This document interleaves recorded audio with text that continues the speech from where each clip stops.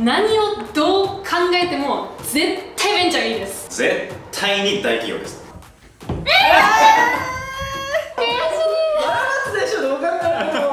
めっちゃ悔しいどうも。しゅんです。こんにちは。はいということでですね今回はコラボ企画なんですけどもサスケさんに来ていただきました。よろしくお願いします。はい初出演です。今回の企画はファーストキャリアを選ぶなら大手企業かベンチャー企業かどっちがいいかということに関して株式会社ダイアリー1号目社員のバラマツとサスケさんでディスカッションしていただけたらなと思ってます。1人ずつプレゼンしていただいて現役就活生の3名の方にどっちの方があの魅力的に聞こえたかっていうところと自分はどうしたいのかっていうところをあのフリップに最後に書いていただけたらなと思います。はい。皆さんちなみに大手かベンチャー派かどっちかちょっと軽く聞いてもいいですか？ベンチャー派ですへえ私は大手派です。私はどっちでもいい派です。全員スーツ着てますけどね。確かに。めちゃめちゃ多く受けそうですけど。就活成果を出したからということでじゃあお二人の意気込み簡単に一言ずつお願いします。今回のプレゼンのために結構なぜベンチャーがいいのかっていうのをしっかり考えてきたんですよ。冷静に考えてベンチャーしかないなって思ってます。今日は皆さん3人が3人ともバラマツの札を上げてくれると思ってますよろしくお願いします。お願いします。まあ、僕自身も大企業からキャリアをスタートしてそうですよね。たくさん美味しい思いしてきたので、うん。まあ、その実体験も踏まえた説得力のあるプレゼンできたらなと思いますおー、はい、僕も負けずと3票狙っていきたいと思いますのでバランスさんには負けないぞっていう。ということで、はい。じゃあ早速始めさせていただけたらなと思います。で今回あの大手かベンチャー派だと広いので、えー20代で圧倒的に市場価値を高めるにはというテーマでいわゆる 4P と言われるフレームワークに沿ってお二人にプレゼンいただけたらなと思いますちなみに今回利用する組織選びの 4P とは人が組織に所属する理由を4つに分類したものです。フィロソフィー、ピーポー、プロフェッション、プリビレッジの4つがあり企業選定軸の整理に使われます。じゃあ1人3分ほどでプレゼンいただきたいです。さすけさん早速プレゼンをお願いします。まず今日のテーマ。20代で徹底的に市場価値を上げるならば大企業かベンチャーかですが結論。絶対に大企業です。でまず前提の整理から入りたいんですけど市場価値って何ぞやということがあると思うんですがまずやっぱ転職市場で価値を持つことだったりとか、そもそも年収が高いこの辺りが定義になってくるかなと思います。今回新卒っていう条件がついてるのでこの2つしっかり押さえて僕のプレゼン聞いていただけたらなと思ってます。で今日は一応4つの P ですね。このフレームワークで、えー魅力のプレゼンということなので一個一個いきたいんですけどもまずはフィロソフィーですね。理念にあたる部分ですが理念って皆さん結構軽視しがちなんですけど会社経営する上で一番大事なものなんですよ。これがちゃんとしてるかしてないかが皆さん市場価値を上げる上でいろんな領域にレバレッジを聞いてくるすごく重要なものだと思って聞いてくださいで大企業って歴史長いみたいなイメージありませんはい、歴史長いということはたくさん失敗してるんですよ。いろんな失敗をして磨かれに磨かれたもう最高のものが今ある。理念だとでその理念のもとを学ぶことができれば皆さんもこう再現性のある形でいろんなことが学べる。もう正解に近いものがあるわけです。これが中枢に備わった大企業でしっかり学んでいくことが市場価値を上げる、まあ、基礎になるみたいなイメージですね。これが理念の部分です。で片やスタートアップベンチャーの方は皆さん綺麗な理念掲げられてますけど本当の意味で大きい事業を作った経験がある人が作った理念っていうのは少ない。再現性が薄いんです。なんで博打ってことも言えると思うんですね。この観点でもやっぱり大企業が作った理念のもと学べる皆様安心感あるで次プロフェッション。専門性の部分なんですが結論。新卒の方は専門性を磨くべきです。まあベンチャーに行くとねいろんなマーケも営業もできたりとかってまあいろいろこうよりどりみどりみたいなイメージあるかもしれないですけどそれでやっぱりタスク型で潰れちゃう方もいますしまず市場価値上げる上では一つ自分はこれだけは自信を持てると。いう専門性を身につけることが何よりも重要です。で、えっと、それを身につける上でやっぱり大企業って組織たくさんあってその中で分業がなされていてそれぞれの道の役割を限定された形で優秀な先輩たちから学べる環境がある。ここで専門性が磨けると。いう部分があるのでそういった意味でも大企業の専門性を磨ける環境っていうのはおそらく市場価値を上げる意味ではすごく魅力的なんじゃないかなと思います。で加えて専門性一つ磨いたら横移動という形で次はマーケを勉強するとかっていう移動ももちろんできるってことがあるので一個一個進めていくっていう意味ではやはりこれが一番いいのかなと思いますね。で3点目ですね。ピープ。人の部分だと思うんですがここも先ほどの話に通じるんですけどやっぱり大企業って組織がこうたくさんあります。その中でそれぞれ優秀な人たちがしのぎを削って生きてきた部署がたくさんある。でそういった優秀な先輩から学ぶことで皆さん先ほど再現性のある方を学べるんです。でそういった先輩の背中を見ながら学ぶことが近道なはずです。でそういった環境ってすごく素敵ですね。っていうことかなと思います。で最後にプリベレッジ。特権ですけども大企業3つ特権があるかなと思います。教育制度と年収と年配の肩書きこの3つだと思ってます。これが皆さんの市場価値を底上げする。まず教育制度ですがもうさっきの歴史に紐づくところですよね。もういっぱい失敗してきた経験だったりとかこういう教育をした人はこういう成果を出せるっていうデータが大企業にいっぱいある。そのデータをもとに皆さんは教育を受けられる。これが一つで年収も高いです平均年収。で転職する上で皆さんも分かんないと思うんですけど現年収ってめっちゃ大事なんですよ。やっぱり今年収500万の人と1000万の人だと交渉余力が違うわけですよね。なんで現年収が高いっていうのも非常に大事。で最後年バリュー。やっぱりこれはなんやかんや大事なんですね、まあ、年バリューって僕もちょっと言いたくないところあるんですけどこれは市場価値なんで要はマーケットからどういう評価を受けるかっていうのが大事な中でマーケット側はそれを見てるんですよ。となるとこれを取るしかないんですよね。っていうのが3つ目です。で少し長くなりましたが、まあ、4P にわたって説明してきましたけどまとめますとまず先人たちが築き上げた、まあ、非常に優秀な再現性のある理念のもとしっかりと役割が限定された専門性のあるスペシャリストのいる環境で自分だけのスキルが磨ける。でそこに優秀な先輩がいるとピープもついてくる。でさらに最後3つ伝えた特権までついてきて市場価値が上がる気してきませんかっていう。ってなったら皆さん大企業に入るべきなんじゃないですかっていうふうに思います。なので僕は大企業が新卒にとって市場価値を上げる上ではベストなんじゃないかなと思います。ありがとうございました。ありがとうございます。うまかったです。じゃあ続いてそのままバラマツさんお願いします、今回新卒で、まあ、大手かベンチャーどちらに入社すべきかっていう話だったんですけど何をどう考えても絶対ベンチャーがいいです。これをなぜっていうところをあの説明させていただきたいと思います。で私市場価値を高めるので何が必要かっていうのを考えたら能力と経験だと思うんですね。で理想としては自分の能力を見つけてそれが生かされる経験を積むっていうのが大事だと思うんです。よでも新卒の皆さんって自分の能力これが活かせるだろうっていうの分かってる方少ないと思うんですね。ということは自分がどんな能力があるのかっていうのを見つける経験を徹底的に積むっていうのが大事だと思ってるんですね。それができるのはベンチャーだと思って具体的にその 4P に基づいて説明をしようと思います。プロフェッションなんですけど株式会社ダイアリーの場合だとあの職種とかで採用されるわけではなくてまずダイアリーに入社してもらって例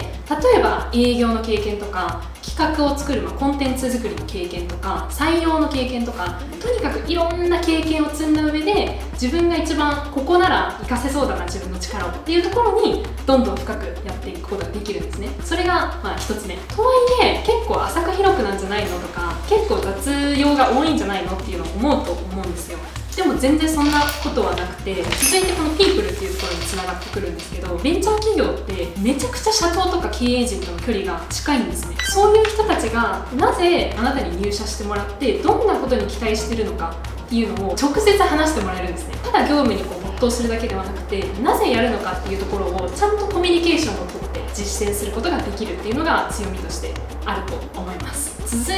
フィロソフィーのところなんですけどさっきサスケさんが経験を積んだ方が素晴らしい理念をあの作ってるっていうところが大手企業の魅力っておっしゃってて確かにその通りだと思います。すでに出来上がってる理念に自分の考えを合わせて働くのって本当に楽しいですかっていうのを問いかけたいです。それよりかは自分がこういう理念を大事にしたいとかこういう会社にしていきたいっていう思いを体現できる方がきっと主体性が持てて楽しくできると思うんです。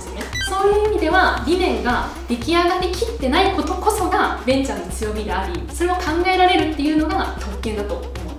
でここまででご自身がどれだけ経験を積めるかとか能力を見つけられるかっていうのが分かったと思うんですけどそれが適切な形でフィードバックをもらえるっていうのが最後あります。でそれが具体的には給与面ですね。例えば大手企業とかだと結構こう年功序列で決まってるとかなかなか自分で給与をコントロールすることできないと思うんですよ。でもベンチャー企業だったら自分はこんな成果を出しました。こういうところにチャレンジしてます。だからもっと適切な給与が欲しいですとか発言をすることができる。で自分の市場価値が高いっていうのが周りからこう認められたらそれが給与っていう形でフィードバックとして変わって戻ってくることがあるっていうのが決定的にいいポイントなんじゃないかなっていうふうに思ってます。ということでベンチャーに来てください。ありがとうございます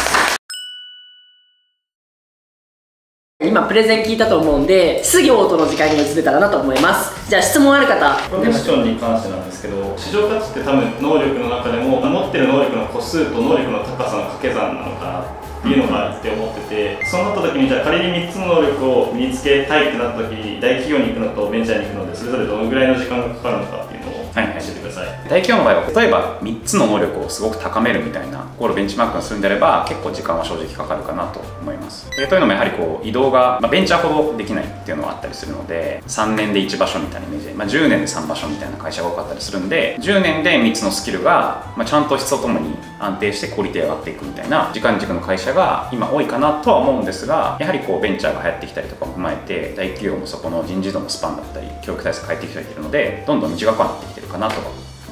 あくまで自分の一例なんですけど私自身はダイアリーに入ってちょうどま1年半ぐらい。でこれまで営業も経験させてもらってますし企画作りのところも経験させてもらってあと採用も経験させてもらってある意味でもう3つ経験させてもらっていると思ってます。で1年半でもう3つ経験する上で今は営業から退いてコンテンツ部門に注力しつつ採用もっていう形でできているので最初のもう3つ習得するっていう観点で言うと、まあ、1年ぐらいでできるのかなと。思い確ますかに。あじゃあ僕も何個か。僕の同級生とかで、はい。それこそ伊藤忠とか、うん。三井物産とか言ってる友達幸せそうじゃないんですよね。なんでかっていうと、うん。めちゃめちゃその商社行くぐらいだからやっぱ志高くて能力高いんですけど配属ガチャで伊藤忠の方が経理部門に行ってその1日8時間働くじゃないですか、うんうん退屈すぎてやっぱ本当に楽しくなさそうで、うんそのあたりどう思います？まあ、一定配属リスクみたいなのは実際存在するとは思いますね。やっぱ営業行きたかったのに経理になってっていうのは商社よくある例かなとは思います、まあ、周さん今おいくつでしたっけ？25です。25まあ社会人でいうと3年目とか3年目です。4年目の代ですよね、はい。で僕の代になると今31の代、はい。で皆さんそれを同じこと言ってるかというとそうでもないまあ確かにね。なぜかというと確かに最初は配属ガチャでやりたくない仕事っていうのになったかもしれないけど、やっぱりちゃんと教育環境の整った環境で経理を教えられることでこの仕事の面白みがしっかり分かるしちゃんと市場価値ついてくるのも分かるから、うんうん。最終的には今やりがいを感じていてやっぱ経理配属でよかったっていう人の割合って結構後半増えるんですよ。えー、10年スパンとかで見ると増えるってことですね。なので20代前半で、まあ、市場価値を高める上でもやはりちゃんと環境の整ったところに行くっていう意味合いの方が強いかなと思うので僕は大きな問題じゃないかなと思ってます。20代で初めて働くってなると多分すごい困難はいっぱいあると思うんですよ。会社行きたくないとか辞めたいとか。そんな時ってどうやって乗り越えましたか？できれば一緒に働く仲間とこういうことがあったみたいなエピソードがあれば教えていただきたいです。1年目特に僕ボロッボロでボロクソに怒られてですねやっぱそこを救ってくれたのは当時のインストラクターと呼ばれる指導社員っていう方でへやっぱりえ9年目の方だったんですけど「サスケ大丈夫か?」と厳しいけど踏ん張ろうなってことを言ってくれてうまく間取り持ってくれたりとかでもその中でもこうちゃんと「お前ここダメだここは直さないと反省しよう」っていうのを言ってくれたりとかしてすごく問題の切り分けをしてくれたりだとかそういった方々は非常に大企業は多かったのかなと思います、はい、入社したての頃は解雇されそうになるぐらいミ スが多かったんですよね。そんな時に、まあ、代表が1対1で面と向かって強みをどんどん伸ばしていこうっていうところでバラマツのいいところはこういうところだからっていうのを社長自身が認めてくれてそこに期待してくれてたっていうのがすごく大きくて代表が直接言ってくれたでこの代表についていこうっていうふうに思えたのでなんかそういうところですね。多分大手にあってベンチャーにないものって一番でっかいのってネームバリューなのかなと個人的に思ってるんですけど、じゃあ市場価値高まりました個人で仕事してきますってなった時になんかネームバリューってどのぐらい大事なのかっていうのを知りたいなと思ったんですけど。年バリューについては一定効果の限界はあるかなと思って例えば個人で仕事をします。フリーランス仕事を取らなきゃいけないと思うんですよ。でその商談に応じてくれるとかまず興味を持ってくれるとか悩んだ時にこっちにしてくれるみたいなそういった効果はあるかなと。でただその後仕事して当然適当な仕事したら契約切られますしあのその後もこの人例えばマッキンゼ出身だから発注し続けようとはならないのでそこから先は実力主義かなと思うんですけどやっぱりフリーランスだって分かる通り結構いろんな案件取るの最初大変なんでなぜこの人に話を聞くのかっていう理由としてすごく機能するなと。まあ、転職の時とかで例えばまあ大企業の名前を使っていくっていうのは有利にはなるかなとは言って思うんですけどでもその肩書きを持ってる人って何千何万といるわけじゃないですか。だからなんかその肩書きを持ってること自体がプラスになるってことは意外とないんじゃないかなと思って。てそれよりかはそのネームバリューなんかなくてもこれだけの成果を出してきましたよ例えば売り上げこれぐらい上げてきましたよとかこれだけ貢献しましたよっていうところが自分の言葉で話せる人こそが市場価値が高いと思うので結論肩書きっていうのはいらないかなって思ってますということで、じゃあ結果発表に移ります。せーの。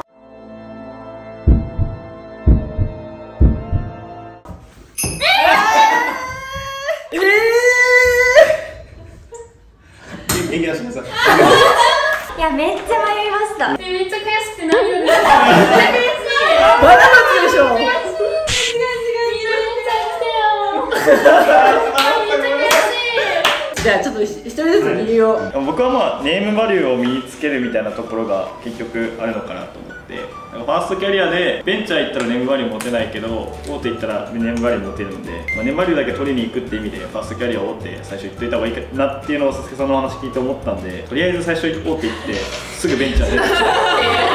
やっぱりまだ働いたことがない身にとってやっぱりいろんな人を見てきた人がいるっていうのはすごく大きいと思っていて、まあ、あなたは何々が向いているよって言われた時に説得力があるのは大手で働いている人だなと思ったのでまだ自分の強みがわからないものとしては、まあ、大手の人に自分の強みを見つけてもらってそこから自分で何をするかを考えていきたいなと思いました。なんか転職のしやすさスキル肩書き年収ってあったのでこの3点どっちが勝ってるかなって見たんですけどスキルに関してはちょっと三角で肩書きに関しては大手で年収に関してはも大手だったので勝ってる数が多い方で大手になりました。まず一旦お二人感想を一言ずつ。綺麗事言えるのは大企業のことだと思ってて、うん。多分このプレゼンは前提僕の方が有利だと思う。んですよ、うん。その中で僕も綺麗事を並べてんなって自分で思いながらやってた時もあったんで、うん。まあ本音でこれいいなと思う部分とやっぱりそうじゃないなっていうぶっちゃけあるので、うんうん。まあ難しいテーマだなと思ってうんやってたっていうのが所感なのでぶっちゃけあんまり勝った気がしないというか。じゃあバラマスさん。今回の敗戦ですごい悔しかったなっていうのがあって私は今ベンチャー企業にいて自分がこれから仲間を採用していく立場なので面と向かって話す相手に対して自分の魅力を企業の魅力を伝えられてないんだなっていうのが悔しかったんですよね。すごい。ごめん。